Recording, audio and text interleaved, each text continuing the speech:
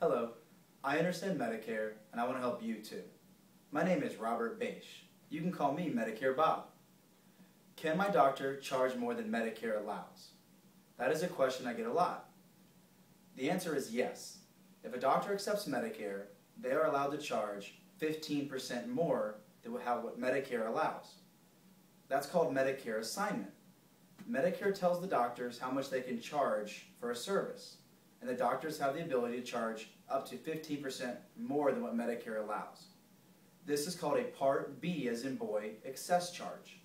The reason this is important is as you're shopping for your Medicare supplement plan, a popular plan is Medicare Supplement Plan N, as in Nancy, and it's a great plan.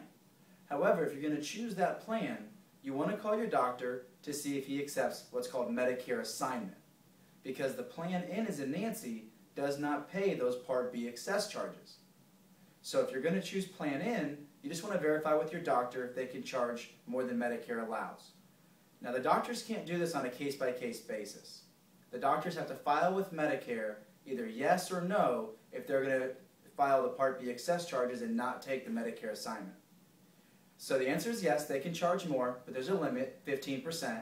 That's called a Part B excess charge, and the doctors have to file that before they ever see you and let Medicare know if they're going to take Medicare assignment or a charge over above it. If you have any more Medicare questions, you can call me.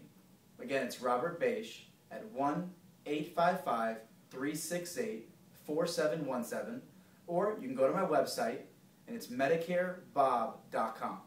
Thank you. Have a great day.